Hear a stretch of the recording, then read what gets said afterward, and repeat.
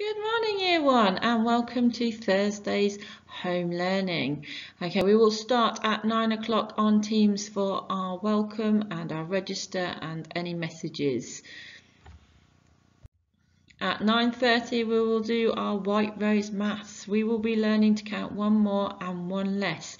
If you can't join the live session and use the slideshow, you can watch the White Rose video.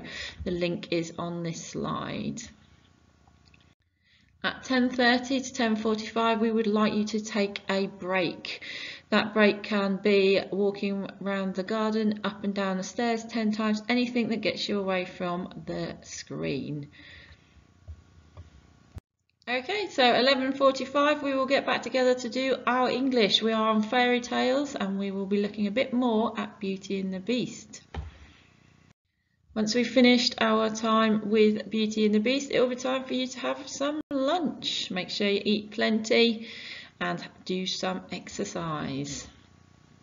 After lunch at one o'clock, we will all get back together to do our phonics. Please make sure you have something to write with as it will be your turn to do the writing.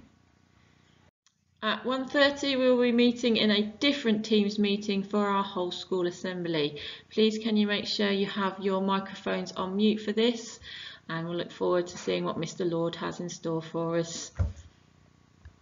Okay, at 1.45 we will be starting our topic and we are learning, depending on who's teaching you, if it's Mr Singleton it'll be castles, but it's me, so we're going to be learning all about castles very excited. I've never done this topic before.